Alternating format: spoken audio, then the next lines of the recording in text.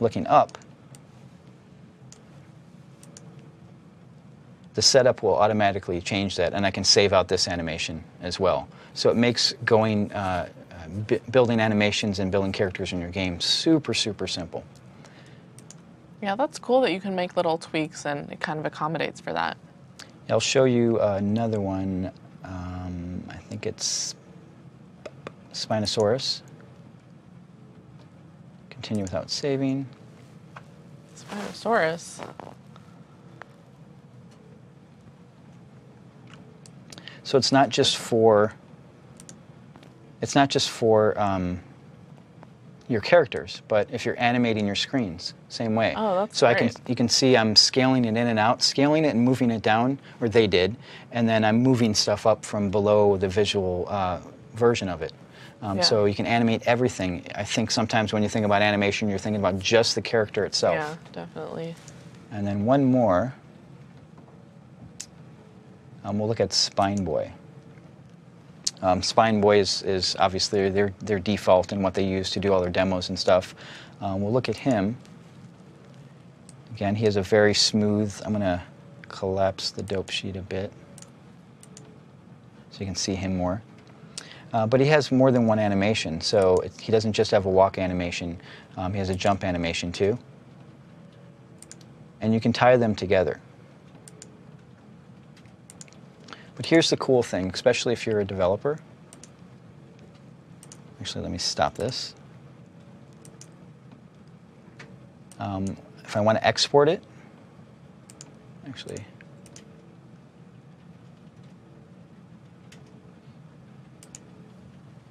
Um, there's a couple ways to export it. So when I created mine, what I did is I uh, exported it as JPEG, and what that will do is it'll create, depending on how many frames you want, um, you can choose the number of frames you want. It'll actually create the individual frames, just like um, when we uh, created the, the little cubby and pulled him in the Game Maker in a previous one. Um, he had individual little frames that then you can pull in the Game Maker. But even more cool, um, you have a JSON export. So what this does is it it exports the uh, map, which is just those little character pieces that I had, and it exports the JSON that relates to the bones. It relates to the uh, way the bones move, the way the bones are connected, and you can import that into uh, GameMaker, you can import that into Unity, you can import it into Cocos, you can import it to a lot of different stuff. And what that allows you to do is on the fly in your game change the way the bones work. So if you wanted him to look up at the sky only when a bird was up there, you can do that without having to create a separate animation. Um, so it just saves you so much time uh, when you're working on stuff. Yeah, that's really cool, and that would be nice to be able to use your animations across different games or different game platforms that you're using. Yeah, the fact that the, they do uh, binary exports and they do uh, base exports at like C Sharp and uh, um, C++ and JavaScript. It allows you to, you know, pull it in HTML5, whatever type of game you want to build. Um, these these images allow you to do that. Yeah, that's very cool. I haven't used Spine, but after that I might. yeah, yeah. I, actually, I hope everyone does. So, uh, hopefully, uh, in this uh, section, you uh, enjoyed it. Um, it's a lot of fun to work with Spine. Um, it's really not that hard. Coming from a developer that's not a designer, that's not an art- artist, uh, being able to pull and import images in and connecting the bones and animating the bones are really simple. Just a little few tweaks. So, hopefully, you enjoyed this today, and uh, we'll be back in about 10 minutes or so. We're going to take a break, and we'll be back with the next module.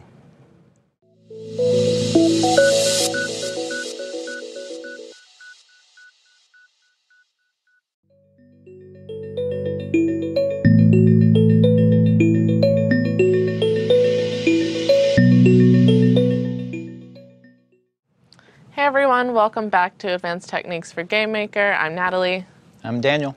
and this is Module 3, so we're going to be talking about advertising and analytics. Making money. Yes, and seeing that where, you're, always make- and seeing where you're making money. So we're going to start out with advertising today. Um, so adding advertising to your game is actually really simple. Um, there are many ad services out there, but we're going to be talking about Microsoft um, Microsoft Ads today. So if I hop over to the website, um, so I'm over on this site, adsinapps.microsoft.com US. Um, so like many services, the way it works is advertiser, advertisers pay a cost per impression model, which is an ad displayed per customer, and then you as the developer or the publisher gets that revenue when the ad is displayed by your users. So um, the way the Microsoft ads works is that you would get 70% of the revenue and then uh, 30% to um, the service that you used. So one thing to note is that this actually only works for games that are targeting uh, customers 12 plus. So make sure to account for that when you submit your game to the store if you're looking to make revenue off your game. So um, if we head over to Microsoft Pub Center, well, actually, before that, uh, I think we wanted to talk about the different displays of where you can put your ads in your game. Yeah, and actually, I'll, I'll show you. It's not going to show up on here because it's dynamic. Um, actually, let me bring this screen up. This is for Dave in the Cave. And so if you play uh, Dave in the Cave, every time you clear a level, um, this screen is going to pop up.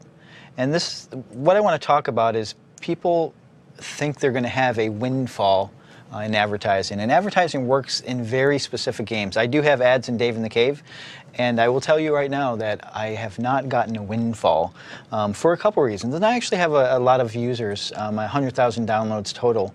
Um, but I have it in the screen in between the game for a couple reasons. One, I didn't want to create uh, an ad inside the main rooms where it would annoy the player. Um, but they go to this level screen in just an instant and they're out. So they barely ever see it. So placement of the ad uh, is very important, and not every game uh, can really do well on ads. But that being said, it's really, really easy to implement and put in your game. Just be aware of the placement and, and actually where you want to put it. Yeah, so we'll, we'll actually be able to see um, picturing where to place those when we go into the Pub Center. But so over here, I'm still on the Ads and Apps website, and that's this is a great resource if you wanted to learn more tips and tricks about uh, the ad service in general. They also have really great uh, forums and blog posts about that on here. So if you want to really dig into that, uh, I'd recommend looking at this. But the way we're going to do this is through Pub Center, and I went over to pubcenter.microsoft.com. And what you'll need to get signed up here is a Microsoft ID account. So I've already got mine set up here. Um, that's your developer account. And then this is what the portal looks like. And that's a Microsoft ID that they'll need to sign up? Right, yeah. So I went over here to monetize new app. And then let's do a Windows app. So MVA test app. And so you'll want to put in your app name here, and then this is where we can see, let me zoom out maybe, so we can see this is the placement this is showing us a preview of the placement of where you can place your apps. So first add, and you can pick your size uh, as well. So that one is to actually integrate uh, directly into the app instead of being something on the side. The last one you chose. Yes, yeah, cool. exactly. Cool. So the thing to make sure uh, with whatever ads you choose is you want to get revenue. Uh, you're getting more revenue the longer that someone has your ads open, but you also don't want them to be disruptive to your game. So that might depend on the type of game you have. Maybe if you have a platformer and you don't have anything going on in the sky area of your game, uh, maybe you'd want to place it up the top there or on the right somewhere. It really depends on what game you have, but you want to make sure that uh, your ads aren't disrupting your experience. Otherwise, that might, you know, just negatively impact your game as a whole. You can also pick uh, the category for your ads. So I usually recommend picking something related to whatever your game is about. So um, if you're making a card game, you could pick one of the, uh, the game's card ads. Uh, but you can use this for any app, not just for games. So if you were doing a social app or sports, you could pick something related to that. So I'm just going to go ahead and, since we're putting it on our game, um, it's kind of adventurous. I'll put it on there. Is this for your uh, mushroom adventure game? Uh, I was going to try and place it on the platformer, but I guess I could look into putting it in my mushroom game in the future. I don't have ads on there right now, but I should get some.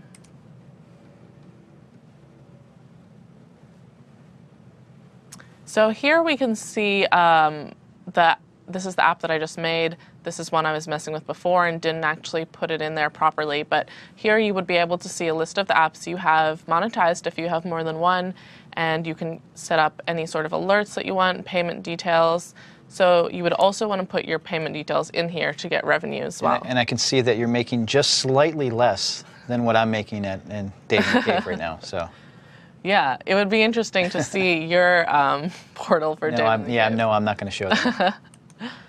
So I think it actually takes a couple days for any sort of revenue to show up in here. I mean, we haven't put it in yet, but that's just something to keep in mind if you're wondering why things haven't showed up and you're getting a lot of hits on it. So now that we have all of this set up, let's just go and get the details for that because we want to put this into um, Game Maker in a second. So, okay, now that we have this, we'll hop back over to Game Maker. And this is the same platformer game we were working with earlier. And the way I would go set that up is I'd go into the resources tab that's up here and go to the change global game settings. And we'd go over to advertising. It's over here on the right. There it is.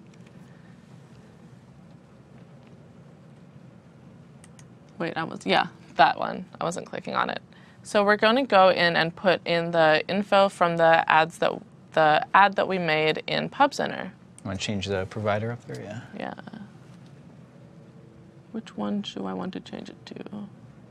Are you on the Windows 8? Go to the Windows 8 tab on the left. Oh. Yeah. Don't forget to change to Windows 8 if that's what you're doing. so I'm using Pub Center. And this is where I would put in the app unit ID over from Pub Center. So I'm just going to copy that in.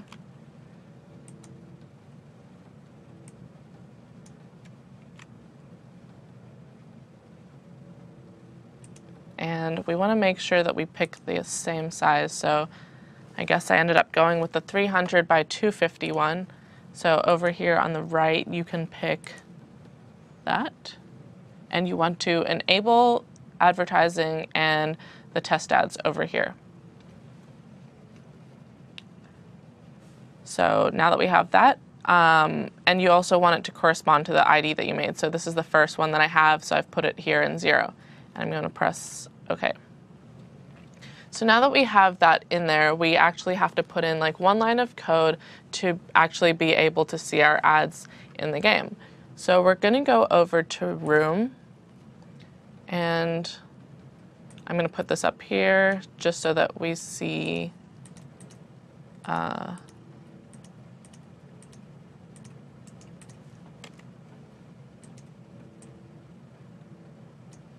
level one first when I press play.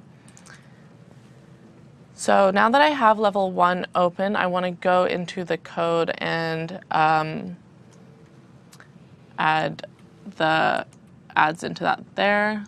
So where do we have the code in here? Oops.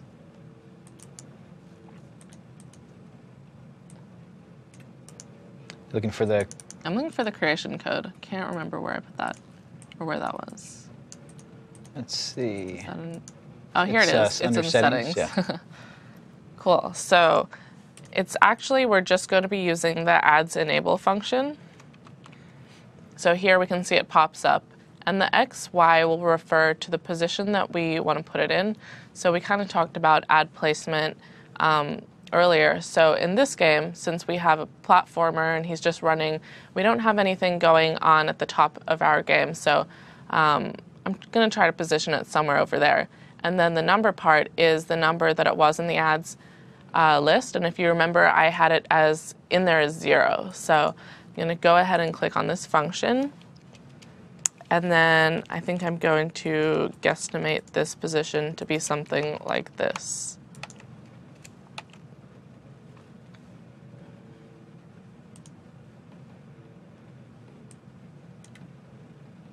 And we'll see if that worked. So if you're testing this too, you want to make sure you're doing it in Windows 8 native because the Windows uh, one will just be an exe and ads will not show up in that. Oh, this is that um, other problem. Yeah, so this, I'm- actually glad that came up. So uh, when you're doing testing in Windows 8, uh, quite often you'll need to, every time you run it uh, in Windows 8, you'll do most of your testing just in Windows, but when you're testing Windows 8 specific functions, you'll want to actually go and delete uh, the, the installed version of the game so you can run it again, um, and that error will go away. Uh, it just has a hard time removing the old one before it installs the new one. But quite honestly, you'll, you'll be in the regular Windows one when you're testing your game most of the time. So there we go. We have the ad up here on the top right. So if I just continued to play this game, um, it's not disruptive at all, and I'd probably get a decent amount of revenue because, you know, it's open there the whole time if they don't die in the first few seconds. And obviously, you can tweak it to make it look a little better. Right, yeah, exactly.